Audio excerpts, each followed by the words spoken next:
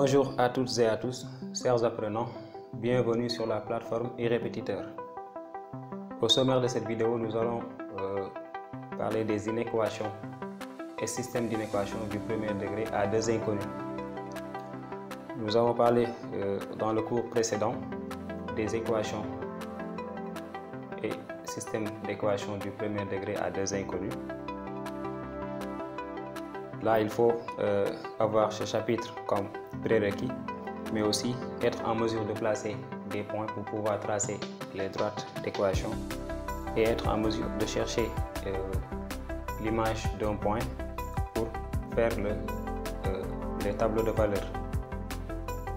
L'entrée de ce cours, c'est la résolution des exercices, la plupart des exercices de BFM étant donné que c'est un chapitre qui sort euh, souvent euh, à l'examen du BFM.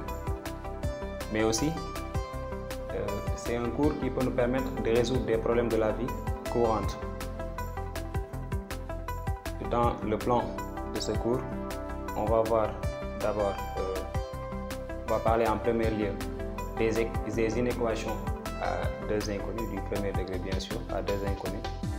Et en second lieu, on va parler des systèmes d'inéquation du premier degré à deux inconnus, en donnant la définition, mais aussi une résolution complète.